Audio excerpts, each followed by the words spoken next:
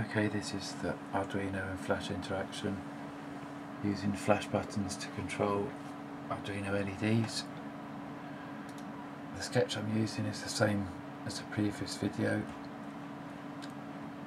Setting pin 9 as an LED pin, being an output, receiving data, reading the values and parameters in a loop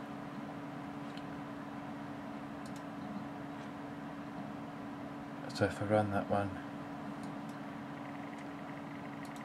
start the sub proxy program.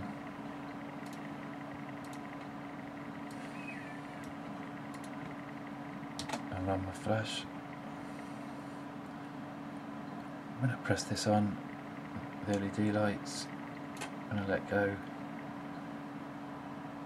it's off, on, off. and if I show you the action script. Again it's similar to the LED control but it's using mouse event.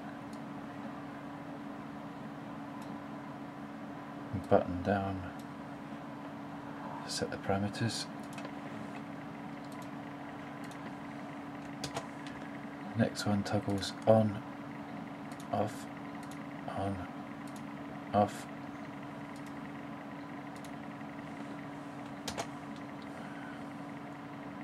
and this will toggle between blinking and on,